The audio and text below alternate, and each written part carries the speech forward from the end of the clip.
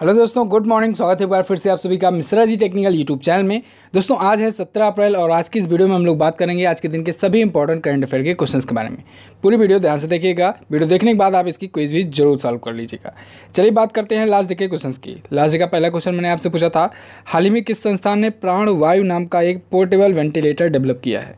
तो आई रुड़की ने इसे डेवलप किया है।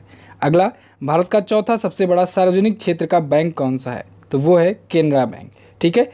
और यूनियन बैंक ऑफ़ इंडिया पाँचवा सबसे बड़ा बैंक है, इसे ध्यान रखिएगा। तो इन दोनों क्वेश्चन के बारे में जिन लोगों ने डिटेल में आंसर किया है, उनके नाम मैं आपको वीडियो के एंड में बताऊँगा। चलिए बात करते हैं आज के पहले क्वेश्चन की। आज का पहला क्वेश्चन है, हाल ही में किस राज्य ने वाईएसआर निर्माण पोर्टल लॉन्च किया? तो अभी हाल ही में दोस्तों, आंध्र प्रदेश राज्य सरकार ने वाईएसआर निर्माण पोर्टल लॉन्च किया है। इसके साथ ही एक और पोर्टल लॉन्च किया है, उसका भी नाम लिख लीजिएगा नोट कर लीजिएगा अगर हो सके तो। दूसरा जो लॉन्च किया उसका नाम है Andhra Pradesh industries COVID nineteen portal. फिर से बोल रहा हूँ नोट कर लीजिए, Andhra Pradesh industries COVID nineteen portal. तो ये दोनों पोर्टल लॉन्च किया है आंध्र प्रदेश सरकार ने। अब दोनों क्यों लॉन्च किया गया है, इसके पीछे का कारण मैं आपको बता देता हूँ। तो पहले बात करते हैं वाईएसआर निर्माण पोर्टल की। दोस्तों, ये पोर्टल जो सीमेंट प्राप्त करने वाले होंगे तो उनके लिए लॉन्च किया गया है कि सीमेंट प्राप्त करने में जो विभिन्न प्रकार के विभाग होते हैं डिपार्टमेंट होते हैं, उनकी सहायता के लिए लॉन्च किया गया है, ठीक है? तो इसके माध्यम से जो सीमेंट बनाने वाले हैं, सीमेंट निर्माता संघ हो गए, और सीमेंट बनाने वाली जो कंपनियाँ हैं, उनके साथ सरकारी विभागों को, सरकारी डिपार्टमेंट्स को जोड़ा जाएगा, ठीक है? दूसरा जो लॉन्च किया गया है, मैंने आपको बताया, Andhra Pradesh industries COVID nineteen portal. ये क्यों लॉन्च किया गया है?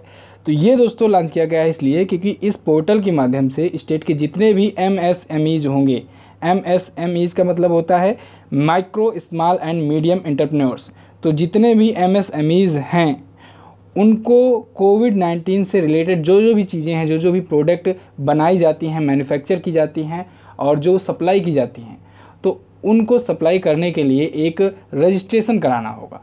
तो उस रजिस्ट्रेशन का प्रोसेस इसी वेबसाइट पर होगा, इसी पोर्टल पर होगा। क्लियर है? फिर से समझा दे रहा हूँ, नहीं समझ में आया तो।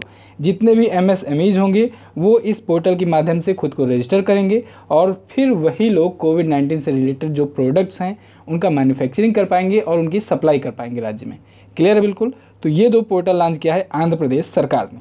ऑप्शन कुछ और दिख रहे हैं, इनके बारे में भी हम लोग डिस्कस कर लेते हैं। उत्तर प्रदेश दोस्तों, अभी बना था पूल टेस्टिंग शुरू करने वाला पहला राज्य। गोवा बना था कोविड नाइन्टीन के इलाज के लिए आयुर्वेद का और एलोपैथी का यूज़ करने वाला पहला राज्य और केरल बना था प्लाज्मा थेरेपी का यूज़ करने वाला पहला राज्य। क्लियर है? तो ये सभी पॉइंट आपको याद रखने हैं। अब बात कर लेते हैं आंध्र प्रदेश के बारे में कुछ स्टैटिक पॉइंट आंध्र प्रदेश ये रहा मैप में। राजधानी अभी है हैदराबाद। आगे चलकर तीन हो सकती है। कौन कौन सी? एक होगी अमरावती, एक होगा विशाखापत्तनम और एक होगी कुरनूल। तो ये तीन राजधानियाँ आगे हो सकती हैं। प्रस्ताव पारित किया जा चुका है इसके लिए। जगन मोहन रेड्डी जी वाईएसआर कांग्रेस पार्टी से यहाँ के हैं चीफ मिनिस्टर, गवर्नर हैं विश्वाभूषण हरचंद्रन जी। आंध्र प्रदेश से ही दोस्तों तेलंगाना अलग हुआ था। तेलंगाना 2 जून 2014 को आंध्र प्रदेश से अलग हुआ और किससे किससे आंध्र प्रदेश बॉर्डर शेयर करता है? तो ये बॉर्डर शेयर करता है ओडिशा से, छत्तीसगढ़ से, तेलंगाना से, कर्नाटका से और तमिलनाडु से। क्लियर है? अच्छा दोस्तों, भारत का पच्चीसवां और सबसे last high court Andhra Pradesh का ही खोला गया। ठीक है? अब भारत में पच्चीस हाई कोर्ट हैं। दूसरा एक और इंपॉर्टेंट पॉइंट आंध्र प्रदेश से कि भारत का अट्ठारहवां और आखिरी या लास्ट अभी तक का जो रेलवे जोन है, वो भी विशाखापत्तनम में है। वो भी आंध्र प्रदेश में ही है। आंध्र प्रदेश के विशाखापत्तनम में है। नाम है उसका दक्षिण तटीय रेलवे जोन ठीक है? साउथ कोस्टल रेलवे जोन इसे भी याद रखिएगा। तो अब भारत में 18 रेलवे जोन हैं और 25 हाई कोर्ट हैं। ये दो पॉइंट आंध्र प्रदेश से आपको याद रखने हैं। नेक्स्ट बात करते हैं। नेक्स्ट है, चौवालीसवां विश्व धरोहर समिट रद्द किया गया। ये कहाँ आयोजित होना था? दोस्तों, चौवालीसवां विश्व धरोहर समिट जो कि यूनेस्को का था, ये आयोजित होना था चाइना में। तो ये फ़िलहाल के लिए पोस्टपोन कर दिया गया है। यूनेस्को का ये चौवालीसवां विश्व धरोहर समिति होता है। इसके पीछे का कारण है कोविड नाइन्टीन महामारी, बताने की ज़रूरत नहीं है, ठीक है? तो इसका आयोजन दोस्तों होना था 29 जून से लेकर के 9 जुलाई तक। लेकिन फ़िलहाल के लिए ये स्थगित कर दिया गया है, यानी पोस्टपोन कर दिया है। कहाँ पर होना था? चीन के फुजियान प्रांत के फूझों में। फुजियान प्रांत के फूझों में। ओके अब आया है यूनेस्को तो यूनेस्को के बारे में थोड़ा सा जान लीजिए। यूनेस्को का फुल फॉर्म होता है United Nation Educational, Scientific and Cultural Organization. इसका हेडक्वार्टर है पेरिस में, फ्रांस में, और इसके महानिदेशक हैं आंद्रे अजोले। इसकी स्थापना हुई थी 1946 में। चाइना के बारे में अगर बात करें तो चाइना देख लीजिए मैप में, बीजिंग है यहाँ की राजधानी। यहीं पर होना है 2022 का शीतकालीन ओलंपिक खेल। रैन में भी यह युआन है यहाँ की करेंसी। संसद है, पीपुल्स कांग्रेस, और यहाँ की जो राजभाषा है, वो मानक चीनी है या मंदारिन जिसे कहते हैं, ठीक है? सबसे बड़ा नगर है संघाई सी जिनपिंग यहाँ के हैं, प्रेसिडेंट। अच्छा अभी यूएस आरोप लगा रहा है दोस्तों, यूनाइटेड स्टेट्स, कि चीन जो है, ये न्यूक्लियर टेस्ट कर रहा है 2019 से लगातार, ठीक है? तो ये संभावनाएँ ऐसा व्यक्त किया है, इस वजह से क्वेश्चन मैंने इसको नहीं लिया है। अगर कन्फर्म रिपोर्ट आ जाती है तो मैं आपको ज़रूर बताऊँगा। नेक्स्ट बात करते हैं। नेक्स्ट है किस देश ने भारत को एंटी सिप मिसाइल और टारपीडो बेचने की मंजूरी दी? तो दोस्तों, अमेरिका ने भारत को एंटी सिप मिसाइल और टारपीडो बेचने की मंजूरी दी है, ठीक है? अमेरिका जब बेचेगा भारत को तो भारत की ऑब्वियस सी बात है डिफेंस सिस्टम और ज़्यादा बढ़ेगी, ठीक है? तो अमेरिका ने भारत से इसके लिए किया है 155 मिलियन डॉलर की डील। कितने की? 155 मिलियन डॉलर की डील ये हुई है और इस डील के तहत अमेरिका, भारत को 10 M G M eight four Harpoon block second air launched antiship missile देगा। ठीक है, नाम मैं लिख दे रहा हूँ, लंबा नाम है। और टारपीडो में अगर बात की जाए तो टोटल 19 मार्क 54 टारपीडो देगा लाइट वेट टारपीडो होगा, ठीक है। जिसमें से 16 जो होगा, वो all up round lightweight torpedo होगा और तीन जो होगा, वो एक्सरसाइज टारपीडो होगा। तो जैसा कि मैंने आपको बताया, ये टोटल डील हुई है 155 मिलियन डॉलर की। अच्छा अभी फरवरी में दोस्तों 24-25 फरवरी को डोनाल्ड ट्रंप आए थे भारत में। आपको याद होगा, नमस्ते ट्रंप का आयोजन किया गया था। तो उस टाइम पर भारत से अमेरिका की तीन बिलियन डॉलर की समझौते हुए थे। इसे आपको ध्यान रखना है। चलिए, अमेरिका के बारे में थोड़ा सा और जानिए। अमेरिका की राजधानी वाशिंगटन, डीसी, जहाँ पर है दोस्तों, वर्ल्ड बैंक का मुख्यालय और आईएमएफ का मुख्यालय। यूएस डॉलर है यहाँ की करेंसी, कांग्रेस है यहाँ की संसद का नाम, डोनाल्ड ट्रंप पैंतालीसवें यहाँ के प्रेसिडेंट हैं। दुनिया की सबसे बड़ी अर्थव्यवस्था अभी तक तो थी अमेरिका की ही। अब कोविड नाइन्टीन के बाद देखा जाता है किसकी होगी। नेक्स्ट बात करते हैं। नेक्स्ट है, किस देश ने भारत को कोविड नाइन्टीन का तेज़ी से परीक्षण करने के लिए छः दशमलव पाँच लाख मेडिकल किट भेजे हैं? तो दोस्तों, भारत चाइना से मंगाया है छः दशमलव पाँच लाख मेडिकल किट। किसके लिए? कोविड नाइन्टीन का तेज़ी से परीक्षण के लिए। इस छः दशमलव पाँच लाख मेडिकल किट्स में दोस्तों, साढ़े पाँच लाख, यानी फाइव पॉइंट फाइव लाख जो किट है, वो तो होगा दोस्तों एक प्रकार का रैपिड एंटीबॉडी किट और बाकी का बचा एक लाख किट जो होगा, वो आर एन एक्सट्रैक्शन किट होगा, ठीक है? तो ये टोटल साढ़े छः lakh kit medical kit China ने भारत को भेजे हैं। ये तो फ़र्स्ट स्टेज के तहत है। अभी आगे और डील हुई है और भी ये भेज सकता है। क्लियर है? तो चाइना से ये चाइना के गुहांगजू एयरपोर्ट से ये आया हुआ है इंडिया में। तो भारत जिससे कोविड नाइन्टीन का तेज़ी से परीक्षण कर सके। चाइना के बारे में हम लोग जान ही लिए हैं। आगे बढ़ते हैं। नेक्स्ट है, हाल ही में किस कंपनी को सामाजिक नवाचार के लिए एडिसन पुरस्कार दिया गया? दोस्तों, अभी हाल ही में टाटा पावर को दिया गया सामाजिक नवाचार के लिए, यानी कि सोशल इनोवेशन के लिए एडिसन पुरस्कार। सबसे पहले जानिए ये एडिसन पुरस्कार होता क्या है।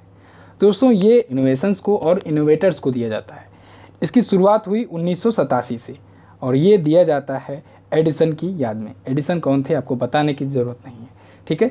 तो थॉमस अल्वा एडिसन के याद में दिया जाता है ये अवार्ड सोशल इनोवेशन के लिए दिया गया है टाटा पावर को। तो ये पुरस्कार टाटा पावर को इसलिए दिया गया क्योंकि टाटा पावर ने एक क्लब एनर्जी कैंपेन चलाया था hashtag switch off to switch on क्या चलाया था?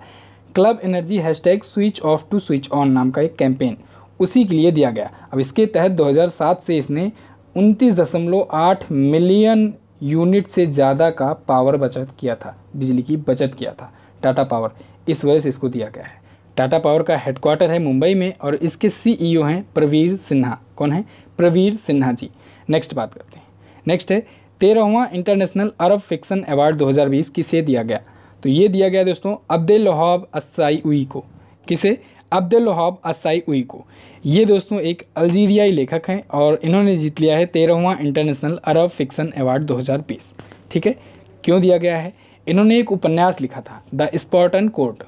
कौन सा उपन्यास का नाम था? The spotted court. नाम आप लोग नोट करते चलो, इसलिए मैं दो दो बार नाम रिपीट कर रहा हूँ। उपन्यास का नाम है द स्पॉटन कोर्ट। इन्होंने 2018 में लिखा था 2018 में ये पब्लिश हुई थी, ठीक है? अब्दुल वहाब असाई जिसकी वजह से इनको ये अवार्ड दिया गया है। इस अवार्ड के तहत पुरस्कार राशि दी जाएगी टोटल पचास हज़ार डॉलर की। कितने की? पचास हज़ार डॉलर की। अब ये तेरहवा इंटरनेशनल अरब फिक्सन अवार्ड जो है, ये होता क्या है? किसके द्वारा दिया जाता है? तो दोस्तों, इंटरनेशनल अरब फिक्सन अवार्ड जो होता है, ये अरब जगत में दिया जाने वाला सबसे बड़ा और सबसे सम्मानित साहित्यिक पुरस्कार होता है। ठीक है? लिटरेचर अवार्ड होता है। ये लंदन के जो बुकर प्राइज फाउंडेशन है, उसके द्वारा ही दिया जाता है ये। और इस बार अब्दुल वहाब असाई उई को दिया गया। नेक्स्ट बात करते हैं। नेक्स्ट है पेटीएम जनरल इंश्योरेंस लिमिटेड के नए एमडी और सीईओ कौन बने? पेटीएम जनरल इंश्योरेंस लिमिटेड इसके नए एमडी और सीईओ बन गए हैं विनीत अरोड़ा जी। विनीत अरोड़ा कौन है? विनीत अरोड़ा दोस्तों, इससे पहले एगॉन लाइफ इंश्योरेंस कंपनी के सीईओ और एमडी थे और अब बन गए हैं पेटीएम जनरल इंश्योरेंस लिमिटेड के नए एमडी और सीईओ ठीक है? पेटीएम आया है तो इसके बारे में थोड़ा सा और जान लेते हैं हम लोग। पेटीएम जो कंपनी है, इसकी स्थापना हुई थी 2010 में। हेडक्वार्टर इसका नोएडा में और इसके फाउंडर और सीईओ हैं विजय शेखर शर्मा जी, जो आपको ए ऑप्शन में दिख रहे हैं। एक नाम और दिख रहा है सतीश कुमार गुप्ता जी का सी ऑप्शन में। ये कौन है? ये दोस्तों पेटीएम पेमेंट्स बैंक के एमडी और सीईओ हैं। इनका भी नाम याद रखिए। नेक्स्ट बात करते हैं। नेक्स्ट है केयर रेटिंग्स के प्रबंध निदेशक और मुख्य कार्यकारी अधिकारी कौन बने? यानी एमडी और सीईओ कौन बने? तो केयर रेटिंग्स के एमडी और सीईओ बन गए हैं दोस्तों अजय महाजन जी। अजय महाजन जी कौन है? अजय महाजन दोस्तों, ये शुरुआत में 1990 में बैंक ऑफ़ अमेरिका में कंट्री हेड के रूप में काम कर चुके हैं, ठीक है? और अभी इससे पहले ये आईडीएफसी फ़र्स्ट बैंक में थे। और अब बन गए हैं केयर रेटिंग्स के प्रबंध निदेशक और मुख्य कार्यकारी अधिकारी। क्लियर है? अब बात आती है ये केयर रेटिंग्स का होता है। केयर रेटिंग दोस्तों, एक क्रेडिट रेटिंग एजेंसी होती है। इसकी स्थापना हुई थी उन्नीस सौ तिरानवे में। मुंबई में इसका हेडक्वार्टर है। तो अभी हाल ही में राकेश मोकासी की जगह पर इसने अजय महाजन को बनाया है अपना नया एमडी और सीईओ राजेश मोकासी जो थे, ये दिसंबर 2019 में दे चुके थे इस्तीफ़ा। नेक्स्ट बात करते हैं। नेक्स्ट है पोकर स्टार्स इंडिया के ब्रांड एम्बेसडर कौन बने? तो पोकर स्टार इंडिया के नए ब्रांड एम्बेसडर बन गए हैं महेंद्र सिंह धोनी। इनको पोकर स्टार इंडिया का बनाया गया है, इससे पहले थे नवाजुद्दीन सिद्दीकी। तो उनकी जगह पर बनाया गया है महेंद्र सिंह धोनी को। नेक्स्ट बात करते हैं। अगला है भारत की पहली दूरस्थ स्वास्थ्य निगरानी प्रणाली कहाँ स्थापित की गई? तो भारत की सबसे पहली रिमोट हेल्थ मॉनिटरिंग सिस्टम स्थापित की गई है A I I M S Rishikesh में। एम्स ऋषिकेश में। ए आई आई एम एस का मतलब क्या होता है? इसका मतलब होता है all India institute of medical science यानी एम्स ये शॉर्ट फॉर्म में कहते हैं। तो एम्स ऋषिकेश में ये स्थापित की गई है भारत की पहली रिमोट हेल्थ मॉनिटरिंग सिस्टम्स, ठीक है? क्यों स्थापित की गई है? इसका मेन पर्पज़ है कि उत्तराखंड स्टेट में, क्योंकि ऋषिकेश पड़ता है उत्तराखंड में तो उत्तराखंड स्टेट में कोविड नाइन्टीन मरीजों की निगरानी करने के लिए लॉन्च किया गया है। और इसे डेवलप किया है एम्स ऋषिकेश और बी एच ई एल ने, यानी भेल जिसे कहते हैं शॉर्ट फॉर्म में, भारत हैवी इलेक्ट्रिकल्स लिमिटेड इन दोनों के द्वारा इसे बनाया गया है संयुक्त रूप से। तो भारत की पहली remote health monitoring system AIIMS Rishikesh में शुरू की गई। मैंने आपको कई बार बताया है, जहाँ ही पहला, पहली, पहले जुड़ जाए, समझ लीजिए क्वेश्चन हो गया इंपॉर्टेंट तो ये भी क्वेश्चन है इंपॉर्टेंट तो बस दोस्तों, फ़िलहाल आज के दिन के करंट अफेयर के क्वेश्चन से बस इतना ही। आई होप आपको वीडियो पसंद आई होगी। वीडियो अगर पसंद आई है तो वीडियो को लाइक कीजिएगा। अपने दोस्तों के साथ इसे शेयर करना मत भूलिएगा। और अगर आप चैनल पर पहली बार आए हो तो चैनल को सब्सक्राइब ज़रूर कर देना। सब्सक्राइब करके बेल आइकन को प्रेस कर देना, वरना आने वाली वीडियोज़ का नोटिफिकेशन आप तक प्रॉपरली नहीं पहुँच पाएगा। चलिए बात करते हैं क्वेश्चन ऑफ़ द डे की। आज का पहला क्वेश्चन है आपके लिए, वर्तमान में एशियाई विकास बैंक के कितने सदस्य देश जुड़े हुए हैं? एडीबी में कितने सदस्य मेंबर कंट्रीज़ हैं? अगला है, हाल ही में किस राज्य सरकार ने फ़ूड बैंक नामक एक पहल शुरू की है? तो ये हैं दोनों क्वेश्चंस इन दोनों के बारे में आपको जो भी पता हो डिटेल में आंसर कीजिएगा। और प्लीज़ आप लोग कोई चालाकी मत किया कीजिए। काफ़ी लोग हैं जो कमेंट कर देते हैं पहले थोड़ा सा ही, उसके बाद बाद में एडिट करके उसी में डिटेल लिखा करते हैं। तो ऐसे आप लोग मत किया कीजिए। ऐसे में होता क्या है कि जो लोग नए आए रहते हैं, उनको मौका नहीं मिल पाता है। रोज़ रोज़ एक ही लोग आंसर करते रहते हैं। वही नाम बार बार रिपीट होते रहते हैं। आप सबसे पहले आंसर कर रहे हो, चलो अच्छा है, अच्छी बात है। लेकिन आप लोग चलाकी करके मत करो। जेनविन कमेंट करो, ठीक है? और कॉपी पेस्ट बिल्कुल मत किया करो कॉपी पेस्ट हमें पता चल जाता है और जो लोग कॉपी पेस्ट करेंगे, सख्ती से उनका कमेंट नहीं लिया जाएगा आपसे। चलिए, पहला नाम है रविशंकर मोहम्मद जरीफ, नीलेश पटेल, साबिर आलम, राम कुमार, मनु पांडे, श्याम शेर कुमार, मोहम्मद एहतेसाम अली, शुभम कुमार, गुरुदेव यादव, चाँद बाबू पूजा चौधरी, मिथुन कुमार, नरेंद्र मीना, मोबेरा खातून, चरण सिंह। तो दोस्तों, इस वीडियो में बस इतना ही। कैसी लगी आपको वीडियो, आप लोग कमेंट करके हमें ज़रूर बताइएगा। वीडियो अगर अच्छी लगी है तो लाइक करके हमारा उत्साह बढ़ाइए। साथ ही इन दोनों इंपॉर्टेंट वीडियोज़ को ज़रूर देख लीजिएगा और आने वाली वीडियोज़ का नोटिफिकेशन पाने के लिए सब्सक्राइब करके बेल आइकन को ज़रूर दबाएँ। मिलते हैं किसी अन्य वीडियो में, तब तक लिए नमस्कार, जय हिंद, वंदे मातरम।